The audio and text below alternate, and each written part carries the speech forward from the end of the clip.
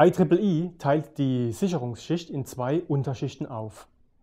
Die erste, Schicht 2a, ist zuständig für das Zugriffsverfahren sowie die Adressierung. Sie arbeitet eng mit der Bitübertragungsschicht zusammen und übergibt die Informationen an Schicht 2b. Die obere Schicht wird auch LLC-Unterschicht genannt. Die Abkürzung LLC steht für Logical Link Control. Schicht 2b hat die Aufgabe, den höheren Schichten eindeutige Schnittstellen zur Verfügung zu stellen